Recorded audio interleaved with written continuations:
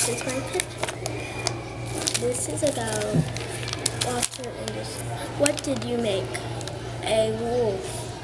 How did you do it? I. By making designs. How did Walter Anderson buy the design? Bye.